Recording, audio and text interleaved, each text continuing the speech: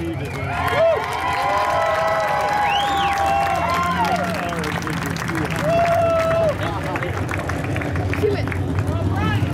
like I just I, read, I was trying to think of when she said I gotta take those movies.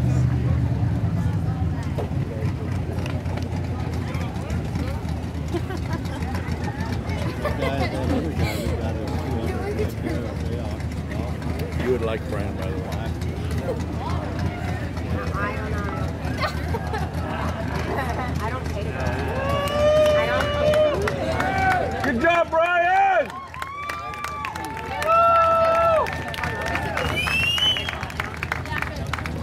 Hey, you got to see 200 wins tonight. That ain't nothing. Yeah, that's, That's something. I know where that's at. Who's got 200 wins in United States class on their team? Anybody got it? Anderson, Steve Jackson got it? Uh, Anderson does. Huh? Anderson. Anderson does? Anderson and Nichols. What about uh, fucking what's the name of Wisconsin? It's Anderson and Nichols.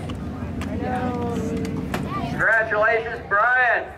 Thanks a lot, Tim. You know what? I don't think in the 50 years this track's been here, I don't think there's ever been a exciting three-car race than that one.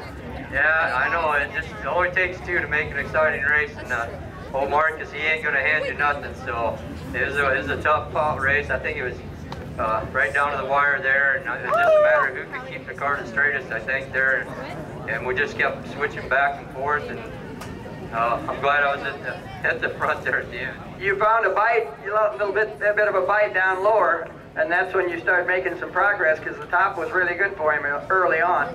It was. It was just hard to, you know, hit it right every time on that top side without getting crossed up because of the, the little bumps that are in there. Uh, Well, how many uh, of these races that you've won out of the 200 would you say Bones fit, uh, prepared the track for you? About 80 or 90? There's a good many of them. God bless you, guy.